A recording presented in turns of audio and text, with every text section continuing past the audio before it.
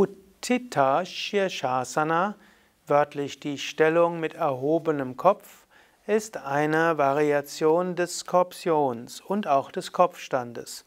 Shirshasana, Kopfstand, ist die Ausgangslage. Von der Ausgangslage Shirshasana gibst du die Handflächen auf den Boden und dann hebst du den Kopf hoch.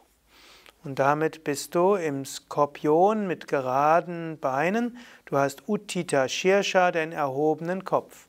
Die Stellung wird auch manchmal genannt Pfauenfeder, Picha Mayurasana, also die letztlich der Pfau mit dem, der Feder nach oben.